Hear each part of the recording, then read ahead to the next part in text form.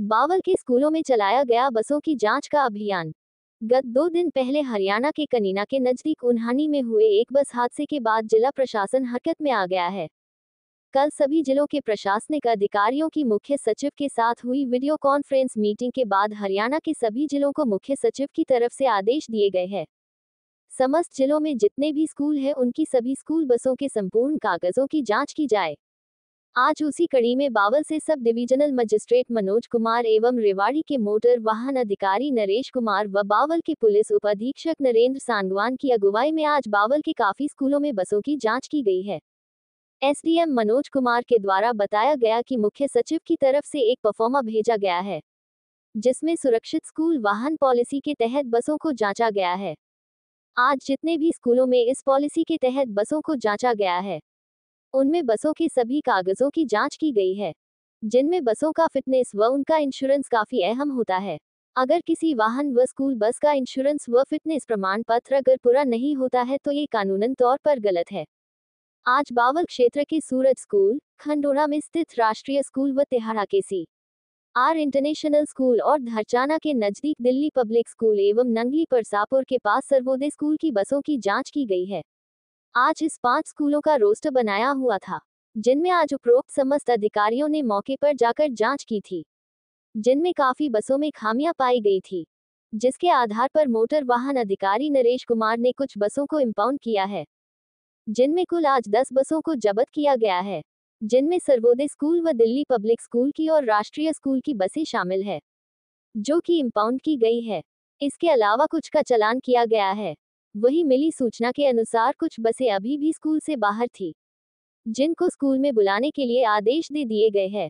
भविष्य में भी इस तरह की बसों की सुरक्षित वाहन पॉलिसी के तहत जाँच की जाती रहेंगी।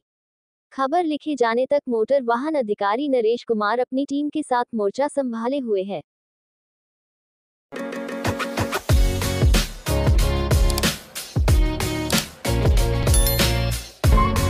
जो आ, कनीना सब डिवीज़न में हादसा हुआ उन्हानी गाँव के अंदर।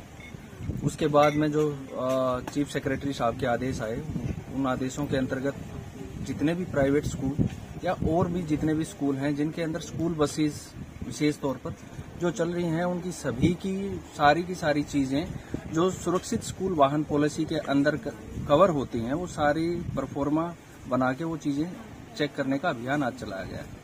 तो सर किन किन स्कूलों में गए? कितने स्कूलों में किया था आज? आज हमने पाँच स्कूलों का ये रोस्टर बनाया था। सबसे पहले सूरज स्कूल में गए राष्ट्रीय स्कूल खंडोरा में गए CR international school DPS school और उसके बाद ये हरियाणा सरोदय पब्लिक स्कूल नांगली परसापुर।